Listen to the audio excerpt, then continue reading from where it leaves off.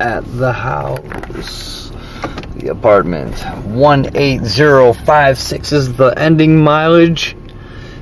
And the time now is 1047 the car time. It's been party time. Not so fun time on the summertime vacation. Part one. I say summertime vacation part one because I may be going out there again for Grandpa's eight, uh, what is it, 90th birthday. For Grandpa's 90th birthday. Amen.